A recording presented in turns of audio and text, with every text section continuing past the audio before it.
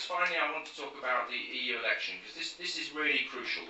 We are a small party at the moment, but this could be, this EU election could really be the catalyst to getting both us, the National Health Action Party, but much more importantly, the NHS, the issue of the NHS, right at the top of the political agenda, right next to the economy, which is absolutely crucial for the, for the next election.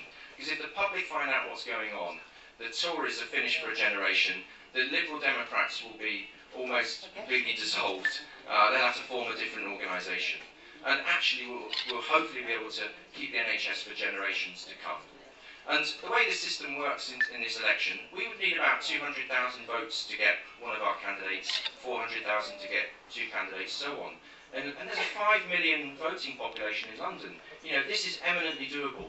So if we get there, get out on the streets, tell your friends, get out there, help our fantastic candidates that we're going to get introduced to, we can really make a big impact. And we're already being listened to by the health journalists in the national newspapers. We're getting on, we're getting on TV If we get this Euro MP, one or two, it can make a huge difference. So please back us. Thanks very much for, for coming along today. And let's stick up for the NHS. Thank you.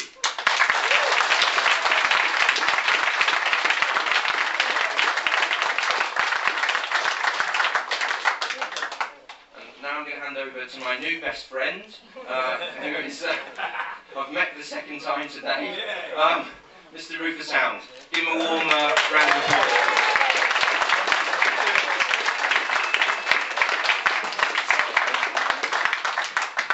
This is my son Albie. He will mainly be doing uh, what I'm saying through the medium of interpretive dance.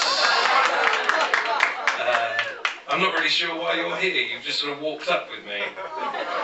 Yes, but that's all right. Stay, stay. You all right with that? I feel like you should have your own little microphone. We can do a sort of got a gear, you know, do a little ventriloquist act or something. Lovely.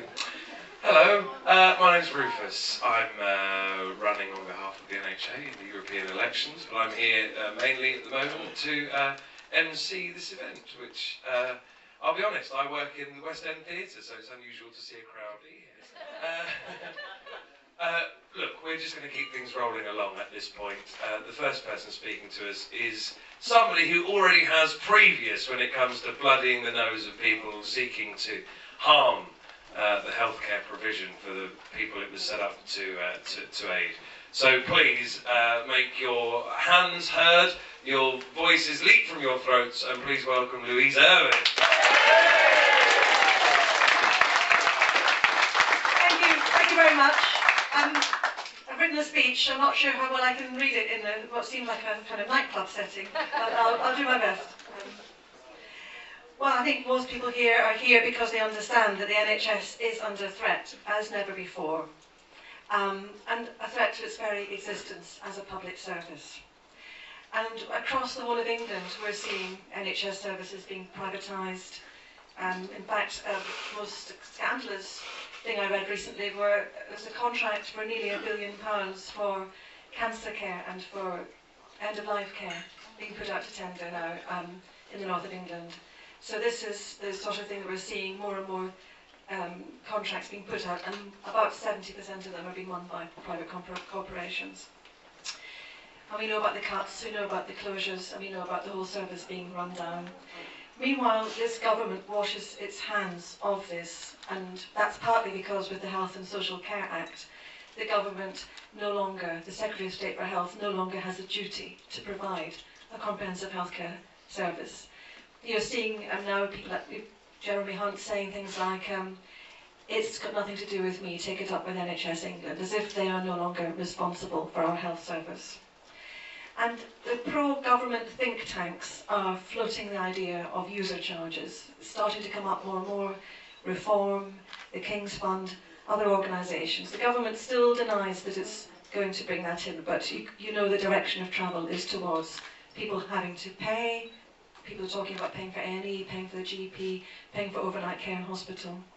Um, this is, the, I think, what's going to happen if this government, if the Tories get re-elected. Just as they didn't tell you what they were going to do with the bringing in the Health and Social Care Act and the privatisation of the NHS before the last election, they're not telling you that what they plan to do if they get re-elected is to actually bring in a two-tier system where people will be expected to pay um, top up um, for their healthcare, and we'll be moving towards an insurance-based system. And the thing that worries me most is this, as a doctor, is this talk about reconfiguration, which is really a smokescreen for hospital closures. And when you hear reconfiguration, it sounds kind of sensible. Well, why can't you just reorganise things to modernise and update and just rearrange services um, to take account of changes in, in patterns of healthcare and illness?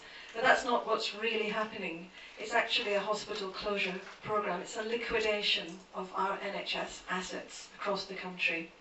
Every single reconfiguration includes a significant net loss of beds the capacity for the NHS to provide care is being shrunk before our eyes, and hospitals are being earmarked for demolition to be sold off, and especially in London for luxury flats seems to be the, the main purpose. They were going to try, try to sell 60% of Lewisham Hospital site um, to make money to pay off the debt of um, the neighbouring South London Healthcare Trust. Um, how is this affecting London? In London, there are nine hospitals, either have just lost their A&E and maternity or are under threat of losing it. Nine hospitals, which will effectively close as district general hospitals. They're mainly in deprived areas of London, and they will mean that people living there will have much further to travel to access their health care. I was in Ealing and Southall yesterday campaigning. We, we went around four shopping centres. There was an amazing response actually from people um, who were very concerned about the NHS. But um, what strikes me is that that area, northwest London, is set to lose four out of nine of its hospitals. Then we've got southwest London, where St Helier Hospital is under threat. We've got northeast London, where King George's Hospital is due to close in 2015. And the patients will all have to transfer to Queen's Hospital, which is a PFI hospital. It's a familiar story. The PFI hospital is saved um, because you can never close those PFI hospitals, but other hospitals are then closed to funnel patients into the, the PFI hospital. Queen's was built to handle 90,000 patients a year in its A&E, is currently handling 140,000. When King George's closes, there are no plans to increase its capacity. We see what, what happened when Chase Farm Hospital has closed. It's putting terrible pressure on Barnet Hospital. We're hearing stories now of ambulances taking sometimes two hours to pick up um, a seriously ill patient. Why? Because the ambulances are tied up, queuing outside hospitals, unable to deposit their patients, to transfer their patients. Patients are backing up in A&E, there are no beds for them. Um, patients can't be discharged from hospital because of 20% cuts in social services. So there's a crisis at every level. And now we're hearing about GP practices. I'm a GP, um, and for the first time in my lifetime of work, I, you know, GPs have gone up and, you know, had have them um, trials and tribulations and their good days and their bad days, but we always thought there would just be, there would be GP practices there. We're hearing of really good practices in London under threat of closure because of underfunding. Um, I could go on, but this is all about, I think, running down our NHS and softening up public opinion for the solution. What's the solution? Let's privatise it because of so-called private sector efficiencies, and let's start charging for it because that's put as the only way to really save our NHS. We need to counter all those arguments, and Clive has already, in his speech, talked about some of our, how we counter it. The NHS is not unsustainable. It is underfunded. We could afford to spend much more on our NHS and still be behind 14 comparable Western economies and how much we spend on our healthcare privatisation costs more, not less, because the market costs billions to, to, to manage. It's a false economy to cut 6,000 nursing jobs and then, and then complain that you, you can't have the quality. To have quality care, we need staff who are supported, valued, properly paid, and sufficient numbers.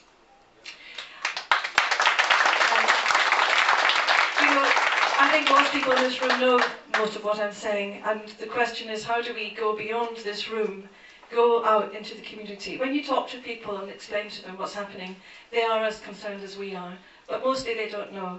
The media has not covered this issue in any depth, and so and the main parties are silent. I think the Labour Party has been especially um, quiet on this issue. Andy Burnham says some good things, but we don't know to what extent he actually represents the Labour leadership and to what extent he will actually even be um, the Secretary of State for Health if, if, if Labour got, got re-elected.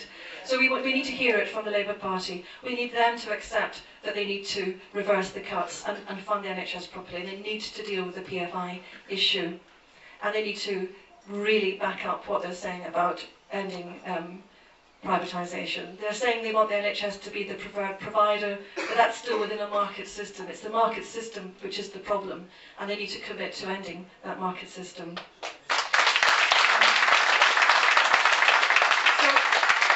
people have asked me, the National Health Action Party, you're just a small party, what impact can you hope to have? I think we have to be honest, we, we don't think we're ever going to be pressure group using the electoral process as a way of actually reaching out to more people. We have much more access to the media by standing in elections. Elections are a time when people are more interested or there's more articles, there's more stuff around, there's more stuff on the radio and the television about political issues. So we want to use that sort of increased um, alertness and awareness to actually get some messages, very powerful messages across about the NHS. If we got a big vote though, it would actually be a kind of referendum on the NHS in London. It would show the main parties that people are beginning to wake up to what's happening and really care about the NHS.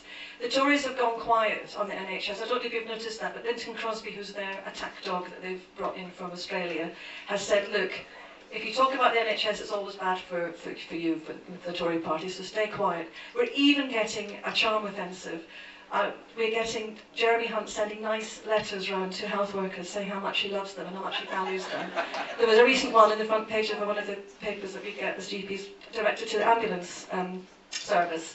Did you know that? He, he, he really loves you. So, um, um, you know, so they want to, they're going quiet on it. Labour is quiet on some of the really important issues. It's not speaking loudly and boldly and strongly enough. It wants to avoid the topic. So we are the people that are going to bring this up and make it an election issue. A good vote now in the Euro elections, it sets us up really well towards the general election. If we get someone elected, which is not impossible, as Clive said, I think that would be a game changer. I think that would change the political landscape. It would show that this is a number one issue for the people. The people London especially. So, um, you know, UKIP are doing well. They, they apparently they're on 30% because to some extent they're a protest vote. People are fed up with the main parties. They're looking around. We don't want people just to waste their vote on some kind of meaningless protest. We want people to vote for us in a positive way, not just to protest, but to vote for something positive that they really believe in. And in the Euro elections, it's proportional representation, no vote is wasted, every vote counts. So that's the message we want to, to get out. I, I spent the whole of yesterday and Friday, and loads of other people have been spending time out in the street talking to people. It'd be lovely if everybody here takes a pile of leaflets when they go and thinks about doing their local school, their local station, or their local hospital, or their workplace, and, and, and starts engaging with people about this issue. Thank you.